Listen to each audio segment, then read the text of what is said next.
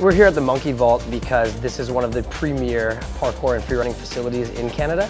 Um, and they help us set up an event here to spread parkour and free running throughout the next generation.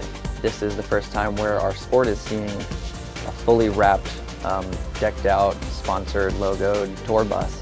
And, uh, and, and, right now it's our, it's our home. It's our home for the last three weeks and our home for the next three weeks. It's so much fun. It's so exhilarating. I love being able to move and I really like all the guys that are going um, on this tour. Uh, they're like so inspirational and awesome. For me, it's super important to continue to inspire the next generation because I want to help others live a fulfilled life. And through parkour and freerunning, I've been able to not only do amazing things, but see amazing things and meet amazing people and have these amazing life-changing experience through our sport. And I want to be able to share that with other people. And I think the best way to do that is to encourage them to live inspired lifestyles, whether that's through parkour and free running or through another avenue. It just so happens that free running is my vehicle to show people that.